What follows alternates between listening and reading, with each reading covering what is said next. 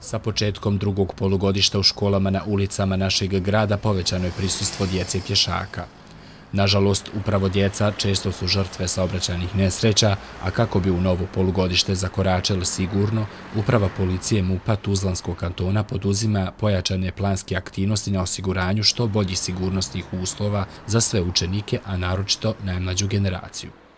Pojačane aktivnosti koje provode policijski službenici ogledaju se prije svega u pojačanom prisustvu policijskih službenika na raskrsnicama, pješačkim prelazima u blizinu osnovnih i srednjih škola, kao i na trasama kretanja učenika od kuće do škole i nazad. Policijski službenike zatekli smo ispred mješovite srednje saobraćajne škole Tuzla, čiji učenici svakodnevno prelaze veoma prometnu saobraćajnicu.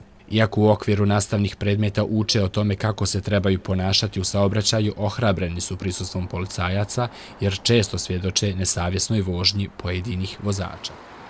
Pa u posljednje vrijeme se ne osjećam sigurno uopšte, zato što je na našem ovdje prostoru sve više e, učesnika u saobraćaju koji ne poštuju pravila.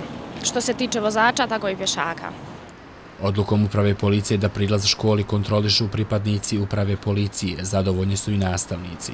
Izad Hadžić predaje predmet bezbjednost saobraćaja u mješovitoj i srednjoj saobraćajnoj školi, a ističe da je najvažnije, pored vozača, edukovati i roditelje i djecu i upravo to nastoji postići na svojim časovima.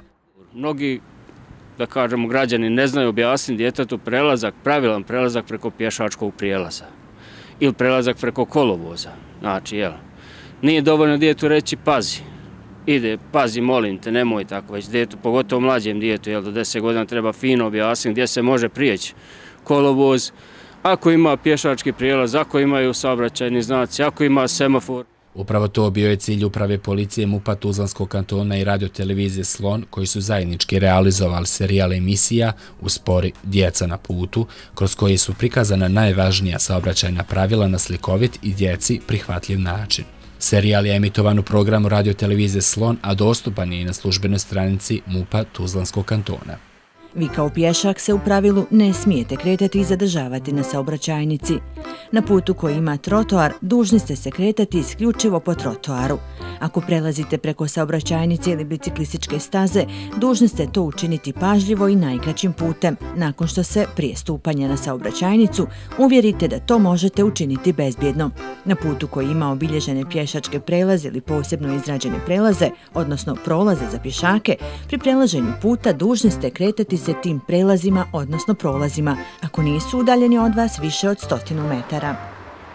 Iako je sigurnost pješaka u saobraćaju prvenstveno djece nešto na što se kontinuirano mora podsjećati, pozitivni pomaci, ako je suditi prema podacima MUPA Tuzlanskog kantona, ipak su zabilježeni.